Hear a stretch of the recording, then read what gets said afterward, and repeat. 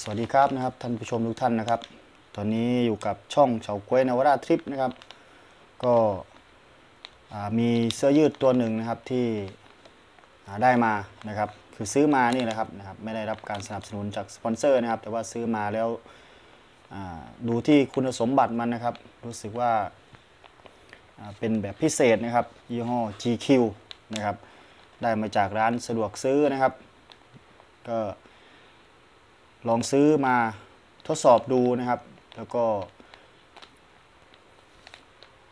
เรียกว่ามีความน่าสนใจนะครับ ก็เลยอยากจะมาเอามา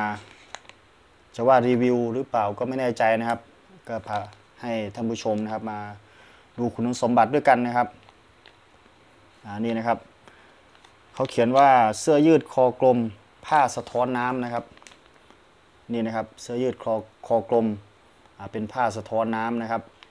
ยี่ห้อ GQ นะครับที่ท่านผู้ชมเห็นอยู่นี่เป็นสีกรมท่านะครับนะเป็นเสื้อยืดคอกลม ส่วนคุณสมบัตินะครับที่เขาเขียนไว้ด้านหลังนะครับ ก็จะมีนี่นะครับสะท้อนน้ำนะครับล้างออกง่ายนะครับเย็นสบายไม่อึดอัด ยับยากรีดง่าย ผ้ายืดนิ่มใส่สบาย ใส่ง่ายใส่ได้ทุกสถานการณ์นะครับนี่นะครับก็ ที่ผมเอามานี่เป็นไซส์ L นะครับ เป็นไซส์ L นะครับ รอบอกก็อยู่ที่ 96 ถึง 106 นะครับนะเป็นส่วนประกอบนะครับของผ้าก็จะเป็นคัตตอนนะครับ 60%แล้วก็เป็นโพลีนะครับ 60%นี่นะครับ แล้วก็ วิธีการดูแลรักษานะครับ วิธีการดูแลรักษา ก็ให้ซักนะครับ ที่อุณหภูมิเครื่อง 40 องศานะครับ ห้ามฟอกขาวนะครับห้ามใช้น้ำยาปรับผ้านุ่ม ห้ามซักแห้ง ปั่นแห้งได้หลีกเลี่ยงการตากด้วยแสงอาทิตย์โดยตรง แล้วก็รีดด้วยไฟปานกลางนะครับ อันนี้ก็เป็นคุณสมบัติโดยรวมนะครับที่เจ้าของแบรนด์เขา present มานะครับอะท่านผู้ชมคงจะสงสัยแล้วนะครับว่าคุณสมบัติการสะท้อนน้ำนี่มันเป็นยังไงนะครับ เดี๋ยวผมจะทดสอบทดลองให้ดูนะครับอ๋อส่วนเสื้อที่ผมใส่นี่ก็เป็นผ้าชนิดเดียวกันนะครับ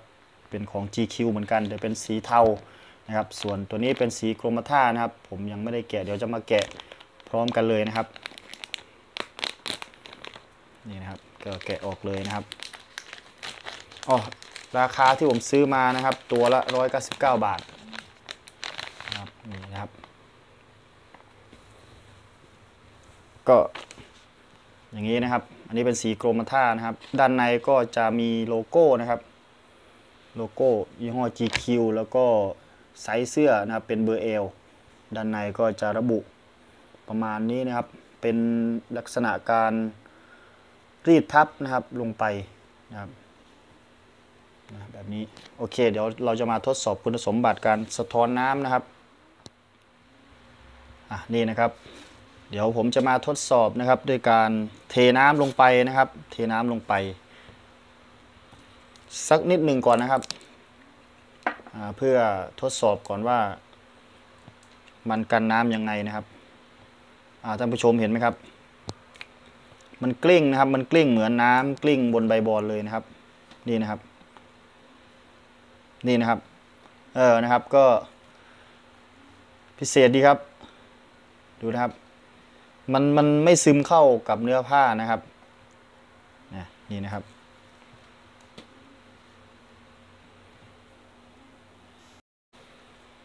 อะผมผมจะลองทิ้งไว้สักระยะหนึ่งนะครับ นี่นะครับ ก็กลิ้งไปกลิ้งมาอย่างนี้นะครับอ่าส่วนตรงนี้นะครับที่ติดนี่แล้วก็สลัดสลัดเนี่ยสลัดสลัดออกมาก็จะร่วงเป็นเม็ดเม็ดมาอย่างนี้นะครับนี่นะครับ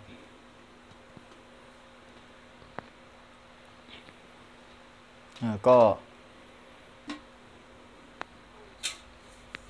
อะเดี๋ยวผมจะเอาน้ำที่ใส่นี่ก่อนนะครับ นี่นะครับมันก็กลิ้งนี่นะครับ ก็สลัดนี่นะครับ สลัดน้ำก็ออกแล้วนะครับเออเดี๋ยวลองอีกทีหนึ่งนะครับ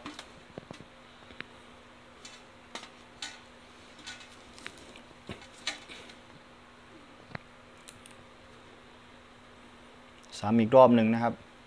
นี่เยอะหน่อยนะครับ นี่นะครับเอามือคนๆดูนะครับ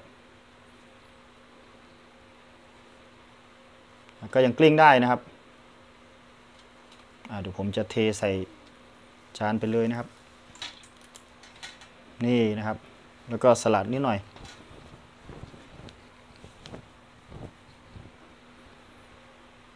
นี่นะครับ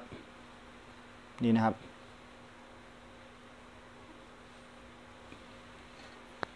ผมลองมือจับดูนะครับ มันก็จะเปียกข้างนอกนี่นะครับ ปัดปัดเราปัดปัดก็ออกแล้วนะครับ นี่นะครับ คือแบบนี้ถ้าเปียกฝน เราก็จะสลัดได้เลยนะครับ มันจะไม่เปียกเหมือนผ้าทั่วไปนะครับนี่นะครับน้ำที่ผมเทลงมาอะลองกับน้ำเปล่าแล้วเดี๋ยวลองมาทดสอบกับน้ำหวานนะครับ เผื่อใครที่ชอบอทานน้ำหวาน ก็อลองดูนะครับ อ่านี่นะครับเป็นน้ำแดงนะครับ เดี๋ยวผมจะเทใส่ตรงนี้นะครับ เพื่อให้เขาไหลลงไปนะครับ เพราะว่าจะได้ไหลลงไปเลย เดี๋ยวจะหกนะครับนี่นะครับ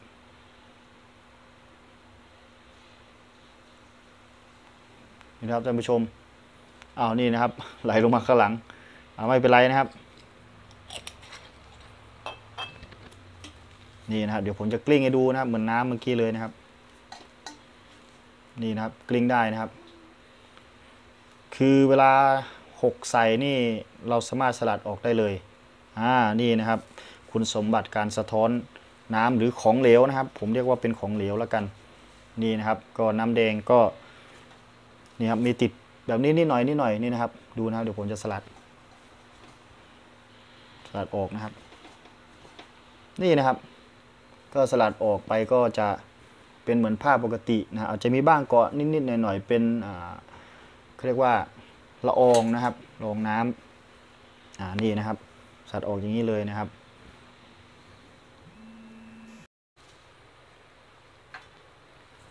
อ่านะครับ หลังจากทดลองกับน้ำนะครับ แล้วก็น้ำแดงนะครับ น้ำแล้วก็น้ำแดงไปแล้วนะครับ ก็ถือว่าเป็นที่น่าพอใจนะครับ อะเดี๋ยวผมจะลองด้วย นี่เลยครับซอสนะครับเผื่อใครที่ชอบกินพวกไส้กรอกนะครับแฮมเบอร์เกอร์นะครับ หรือว่าแม้แต่ไข่ดาวไข่เจียวนะครับ ใครที่ชอบทานกับซอสแล้วเผื่อมันเลอะนะครับเดี๋ยวผมจะฉีกออกอย่างนี้เลยนะครับ นี่เป็นซอสมะเขือเทศนะครับ ซอสมะเขือเทศ ก็ เดี๋ยวจะลองราดลงไปนะครับ ตรงขอบ ประมาณตรงนี้นะครับ ตรงที่เดิมที่เราราดน้ำกับน้ำแดงนะครับนี่นะครับราดลงไปอย่างนี้นะครับ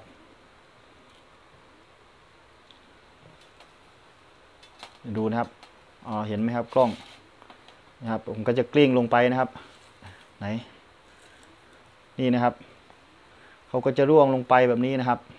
เอาใหม่นะครับ ไม่รู้กล้องเห็นหรือเปล่านะครับ นิดนึงนะครับ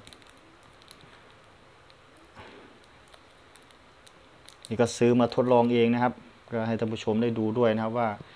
คุณสมบัติของเสื้อสะท้อนน้ำแบบนี้นะครับ นี่นะครับมันกลิ้งลงไปเลยนะครับ กลิ้งลงไปนะครับนี่สลัดสลัดก็ออกนะครับ มีติดอยู่นิดหน่อยนะครับ เราก็ใช้น้ำนะครับ ใช้น้ำเลยนะครับ ใช้น้ำราดไปอีกทีหนึ่งครับโอ้โหนี่นะครับ มันหลุดลงไปนะครับท่านผู้ชม เออนะครับ นี่นะครับ ก็ใช้น้ำล้างได้เลยนะครับ นี่นะครับอ่านี่นะครับชมครับ เห็นไหมนี่นะครับ เดี๋ยวผมจะสลัดอีกนิดหนึ่งเอาน้ำออก นี่นะครับ ไม่มีคราบซอสติดอยู่แล้วนะครับ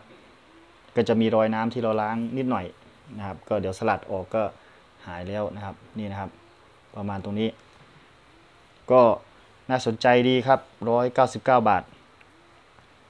สำหรับเสื้อสะท้อนน้ำนะครับ กันน้ำได้นะใครที่เรียกว่าลุยๆนะครับ สายลุยชอบอเดินทางนะครับ ตากฝน หรือว่า